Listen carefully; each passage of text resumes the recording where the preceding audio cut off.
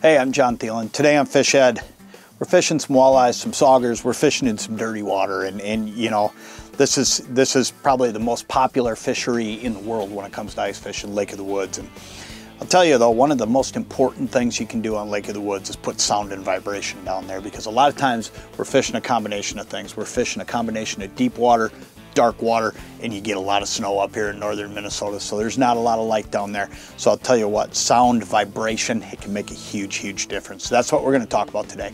Stay right where you're at. Fish Ed's coming up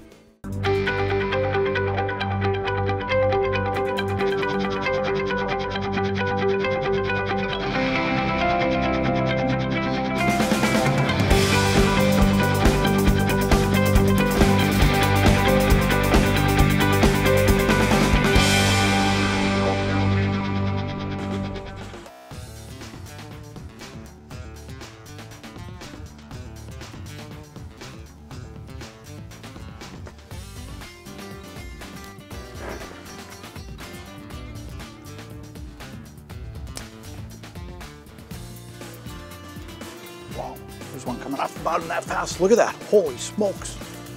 That's the first drop. That's, that's literally, let's just get set up and get going. And he saw it coming down. Now watch that fish. He started lifting. Well, I was on my way down. I mean, holy smokes. we'll take that start any day of the week. Look at that, great eater size walleye to start. That guy just come railing off the bottom right from the get-go. I mean, I dropped this thing down and this 14 incher just comes smoking in there. Holy smokes. Let's hope that's a, a sign of things to come. it's, uh, man, I'll tell you, just goes to show you, sometimes there's just fish hanging around. And that guy, he, he, he was, we're gonna let him go. I mean, obviously it's, it's pretty early in the day.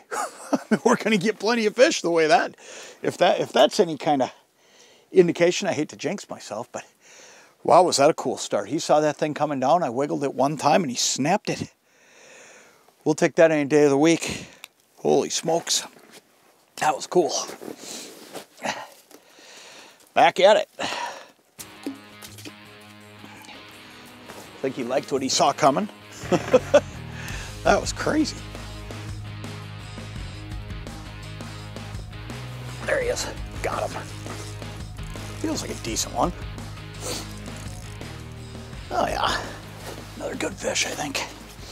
You know, one of the things we're doing here is just making sure that we're grabbing their attention. Oh yeah, good eye. Look at that fish, awesome fish.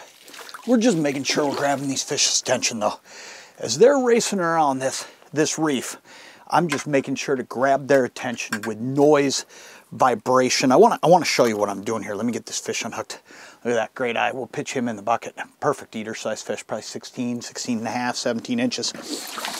Let me show you this bait I'm using. This is the Wally Talker. And Man, this this one I think is one of the most overlooked baits in the Lindy lineup, and and you know it's a little bit unorthodox. is is not quite the same as some of the different baits out there. But let me tell you, the success of the Perch Talker really led to this bait, and the success of the Perch Talker is based 100% around noise and vibration. Well, it's the same thing with this Wally Talker, but here's the difference. When you look at a Perch Talker, a Perch Talker has brass beads and discs, and what that does is it gives a sound that perch just come into. They, they're a curious they're a curious fish. They're going to come in and take a look.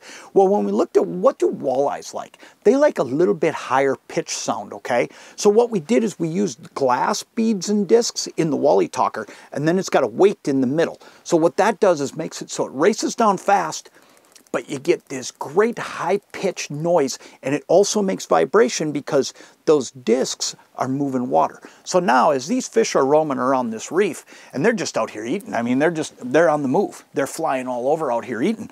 All I'm doing is making noise and vibration down there. I'm just grabbing their attention. And then with the glass beads, the other thing we've been able to do is do some awesome colors. I mean, you get these, these colors that give you a very holographic look because of being glass, you can almost see through them. I like to call it almost a crushed glass.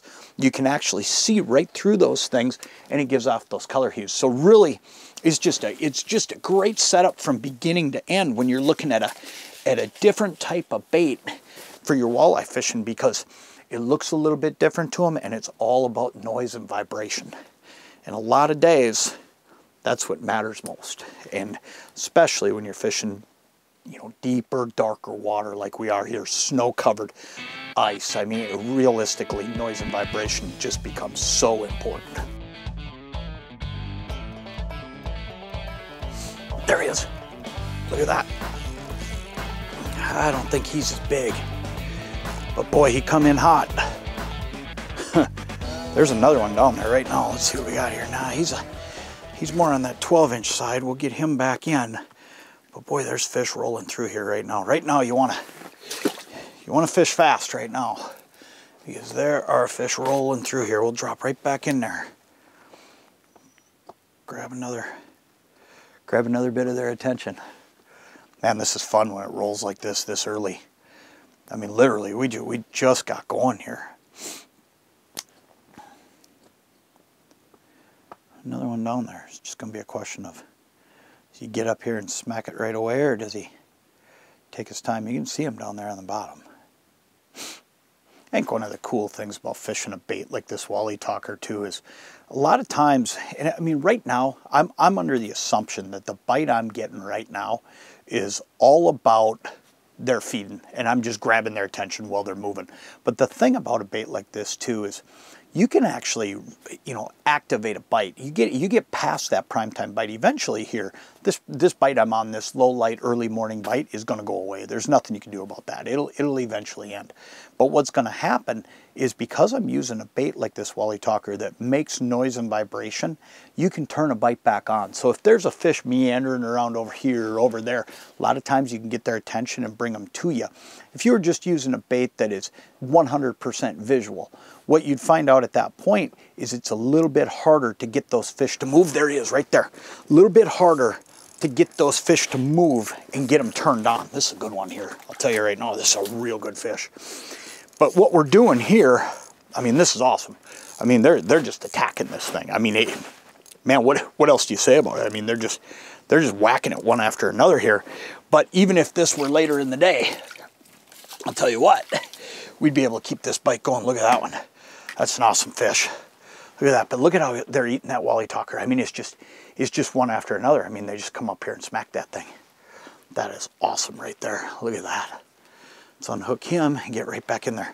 What a great fish. We'll pitch him in the pail too, but that's just awesome. But that is, that's what it's all about right here. Noise, vibration, getting their attention, getting these fish activated, grabbing their attention when they're swimming around, but activating them to want to bite. And I mean, these fish aren't just coming up and nipping at this. I mean, they're smacking it.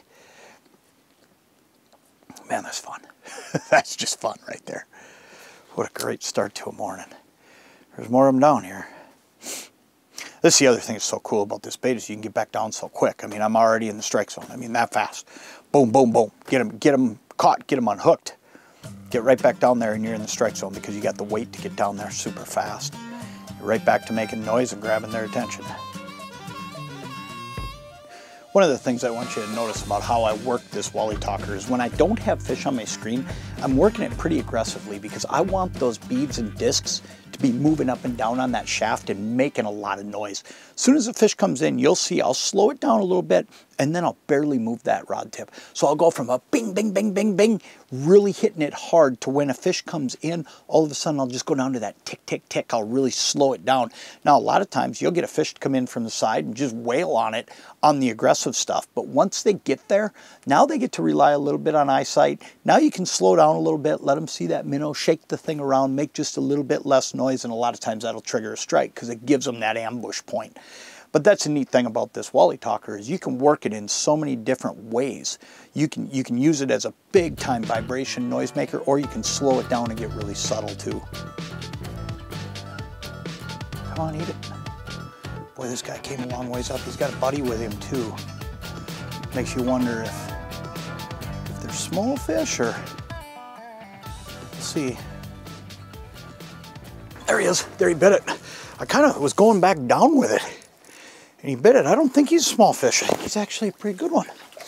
He kind of fooled me. I was going back down with him, and he grabbed it while it was going back down. That's cool. Oh yeah, another great eye. Look at that. Nothing wrong with that. awesome fish. Another one for the pail. Man, I'll tell you what, what a great day this has been. It's just been one after another. And you know what it's all about? It's all about using baits that grab their attention.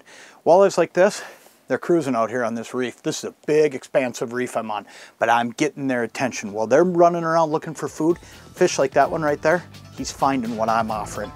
And ultimately, if you can do that, I'll tell you what, you'll catch more fish day in and day out every single day. That's just awesome. What a day.